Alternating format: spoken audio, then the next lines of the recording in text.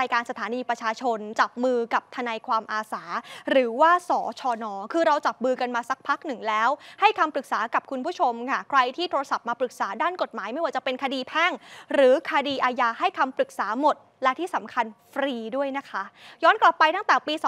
2560 จนถึงปัจจุบัน 2566 6 ปีมาแล้วช่วยเหลือประชาชนไปมากกว่า 10,000 คดี ติดตามเรื่องนี้จากรายงานค่ะ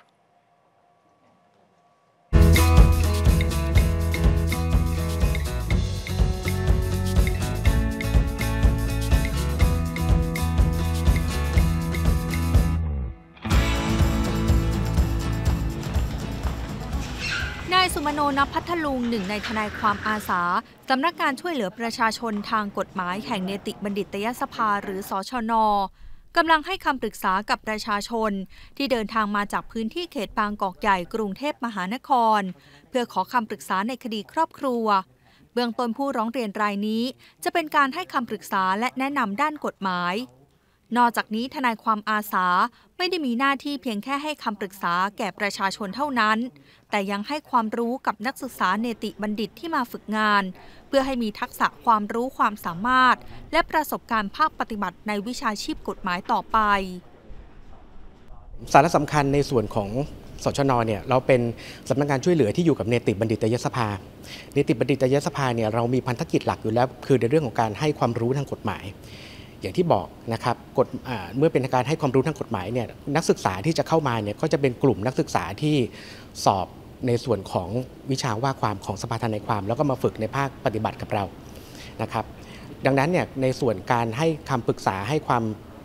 รู้กับในส่วนของนักศึกษาของเราเนี่ยเราจะเน้นหนักอย่างที่ตอบเมื่อสักครู่ในส่วนของที่เป็นเจตนารมณ์ของกฎหมาย เพื่อให้เน้นในเรื่องของการแก้ปัญหาให้ประชาชนเข้าใจว่ากฎหมายในเรื่องที่เขาเป็นปัญหาอยู่ในขณะนั้นเนี่ยมันมีเจตนารมณ์อย่างไร และการแก้ปัญหาโดยตัวของกฎหมายเองนั้นเนี่ยต้องดำเนินการอย่างไร เพื่อให้เขาเข้าใจ ให้เขาเข้าใจสาระสำคัญของกฎหมายที่แท้จริง ซึ่งทุกคนอาจจะไม่ได้พอใจในการให้คำปรึกษาของจากสชนทั้งหมด แต่เรามั่นใจว่าที่มาปรึกษากับหน่วยงานของเราเนี่ย เขาจะได้ความรู้ที่เป็นความรู้แท้ๆ ที่เป็นเจตนารมณ์ในกฎหมายในเรื่องนั้นๆครับนอกจากนี้ทางสำนักงานช่วยเหลือประชาชนทางกฎหมายแห่งเนติบัณฑิตยสภา ได้ประสานความร่วมมือกับไทย PBS จัดทนายความอาสาสลับสับเปลี่ยนหมุนเวียนให้คำปรึกษาทางด้านกฎหมายฟรี ที่รายการสถานีประชาชนไทย PBS ตั้งแต่เดือนกุมภาพันธ์ 2563 จนถึงปัจจุบัน คือการที่ได้มาทำงานที่ของหลาย ๆ ที่เราจะได้ประสบการณ์แต่ละหลายที่อะค่ะ คือว่าการรูปแบบบางที่ก็ไม่เหมือนกัน แต่ก็คือด้านกฎหมายเหมือนกันนะคะในการที่ให้คำปรึกษาได้เหมือนกันค่ะนายดนุพลเกลียงแก้ว หัวหน้าสำนักงานช่วยเหลือประชาชนทางกฎหมายแห่งเนติบัณฑิตยสภาหรือสอชนกล่าวว่า ตลอด 50 ปีที่สชน มีภารกิจดำเนินการให้คำปรึกษา และช่วยเหลือดำเนินคดีทางกฎหมายในชั้นศาลแก่ประชาชน ทั้งผู้ที่มีฐานะยากจน และไม่ได้รับความเป็นธรรม ในเขตพื้นที่กรุงเทพมหานครและปริมณฑลอย่างเคสที่ผู้ร้องถูกฟ้องเป็นคดีแล้วไม่ว่าคดีแพ่งหรือคดีอาญานะครับ ถ้าเกิดว่ายังไม่ไม่ไม่ตกผลึกว่ายังมีทนายความเนี่ยคุณสามารถนำเอกสารคำฟ้องหรือว่ารายการบทพิจารณา มาให้เราดูก่อนเบื้องต้นให้ทนายดูก่อนว่า เราสามารถช่วยเหลือคุณได้ไหมคุณเข้าหลักเกณฑ์ไหมยากจนไหมไม่ได้ความเป็นธรรมไหมหรือไม่ถ้าเกิดว่าเราช่วยเหลือไม่จริงๆเรื่องเราก็จะส่งต่อแนะนำแนะนำไปเบื้องต้นว่าเกิดคดีแบบนี้เหมือนคดีอย่างเช่นเช่าซื้อเนี่ยคุณสามารถไปไกลเกลี่ยก่อนได้ไหมมันสามารถทำได้ หรือว่าคดีกู้ยืมเล็กๆน้อยๆเนี่ยไม่ต้องจ้างทนายเลย สถิติการให้คำปรึกษาและรับช่วยเหลือดำเนินคดีทางกฎหมาย ตั้งแต่เดือนตุลาคม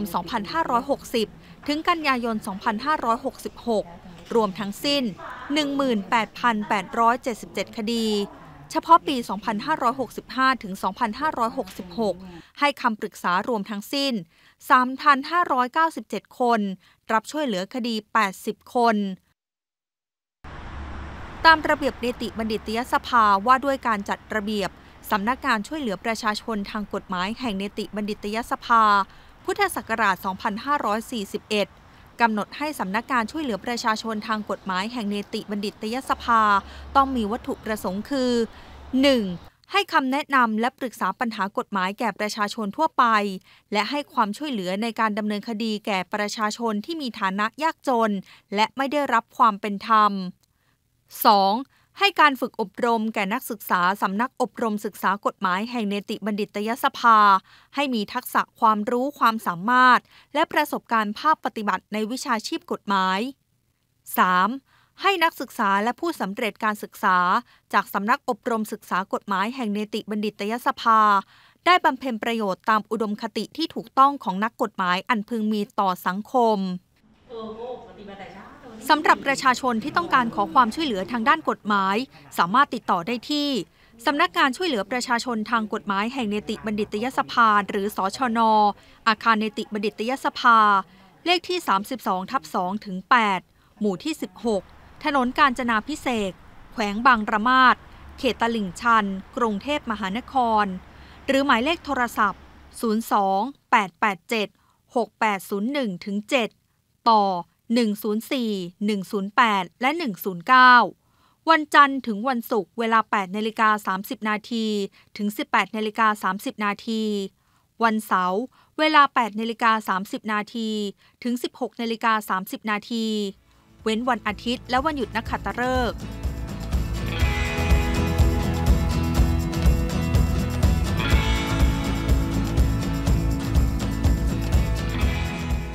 อ้าใครมีปัญหากฎหมายตอนนี้ หยิบโทรศัพท์ขึ้นมาโทรศัพท์ปรึกษาได้เลยนะคะ ย้ำว่าทั้งคดีแพ่งและคดีอาญาฟรีไม่มีค่าใช้จ่ายหรือสามารถนะคะ เดินทางไปขอความช่วยเหลือด้านกฎหมายนะคะ ไปได้เลยค่ะที่สำนักงานช่วยเหลือประชาชนทางกฎหมายแห่งเนติบัณฑิตยแห่ง เนติบัณฑิตยสภาสชนค่ะคุณผู้ชมค่ะ พิกัดอยู่ที่ไหนอยู่ที่อาคารเนติบัณฑิตยสภาเลขที่ 32 ทับ 28 หมู่ที่ 16 ถนนกาญจนาพิเศษ แขวงบางระมาศเขตตลิ่งชันนะคะ เอาย้ำเบอร์โทรกันอีกครั้งหนึ่งคือ 02887 6801ถึง7นะคะ เอาหรือว่าใครตอนนี้บอกว่าอยากจะโทรศัพท์มา ให้รายการสถานีประชาชนเป็นสื่อกลางปรึกษาปัญหากฎหมายได้เช่นเดียวกัน 02 790 2111 อันนี้คือเบอร์รายการสถานีประชาชนนะคะ